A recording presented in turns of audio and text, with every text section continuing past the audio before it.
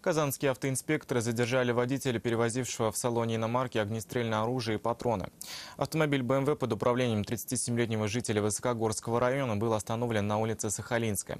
При проверке документов водитель предъявил поддельное водительское удостоверение. В ходе досмотра автомобиля в бардачке полицейские обнаружили боевой пистолет и более 150 светозвуковых патронов разного калибра.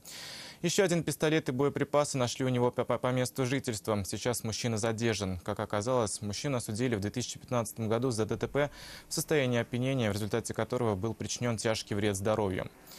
А спустя год его лишили права управления транспортным средством сроком на три года.